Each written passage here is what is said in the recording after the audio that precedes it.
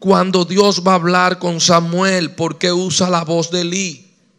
¿Qué tan parecida era la voz de Elí? Que Samuel cuando responde, en vez de responder directamente a Dios, no le respondía a Dios, porque él corre a donde Elí.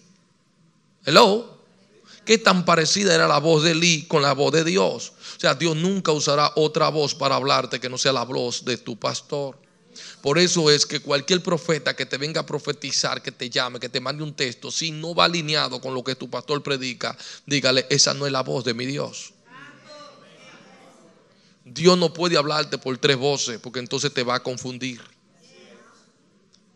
Lo vemos en lo, natural, cuando las ovejas terrenales son criadas por un pastor, puede venir otro pastor de otro rebaño y esa oveja no le van a prestar atención a ese pastor porque ese no es el pastor que la pastorea.